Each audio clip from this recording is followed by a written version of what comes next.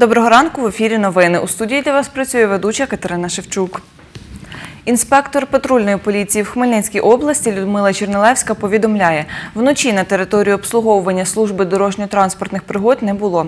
П'яних за кермом на автодорогах Н-03, Житомир-Чернівці та М-12 Стрий-Знам'янка поліція не виявила.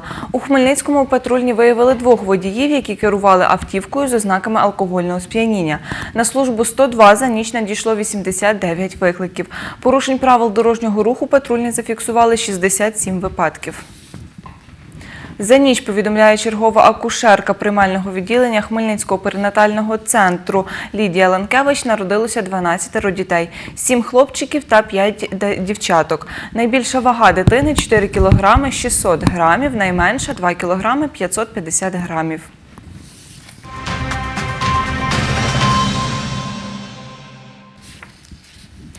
14,5 тисяч дітей цього року піде до перших класів шкіл Хмельниччини.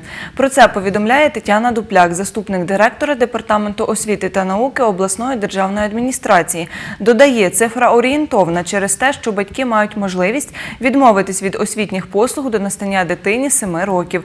За словами Тетяни Дупляк, минулого року у перший клас у Хмельницькій області пішло 13,5 тисяч дітей. У який саме день у школах області відзначатимуть свято першого дзвоника, адміністрація закладів вирішує самостійно. Про це повідомив директор департаменту освіти та науки обласної державної адміністрації Олег Фасоля.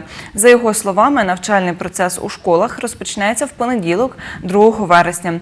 Як додає заступник директора департаменту освіти та науки міста Хмельницького Світлана Губай, в обласному центрі святкування Дня знань у комунальних школах відбудеться 2 вересня. Після урочистої лінійки розпочнуться заняття.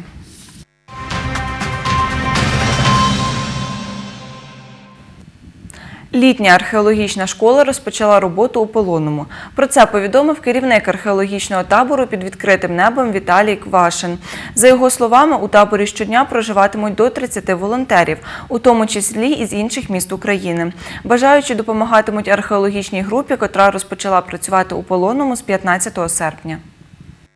Території розташовано близько 10 наметів, 10-15 наметів. Зараз у нас по заявкам вже є 10 наметів, там будуть розташовуватись е, приблизно по дві людини в наметі буде.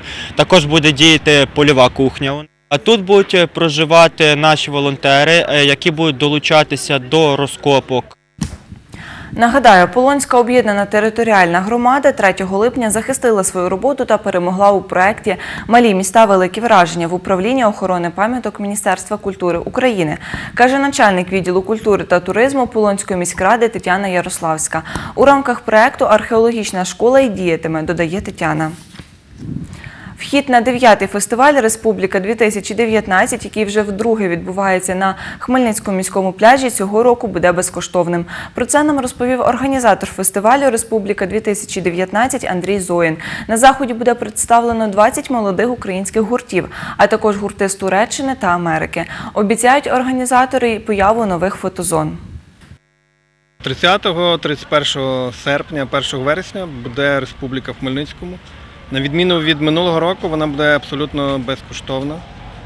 Е, Тому ми запрошуємо всіх е, хмельничан і гостей приїхати, тому що буде дуже цікаво. Ми зробимо більше сцен, е, буде багато зірок, як таких вже відомих, як без обмежень, наприклад, які гурт, які всі знають, так і нових, які стрільнули тільки недавно. Наприклад, буде співачка реп Альона Альона, яку вже зафрахтували на всі європейські фестивалі. Ну це така зірка.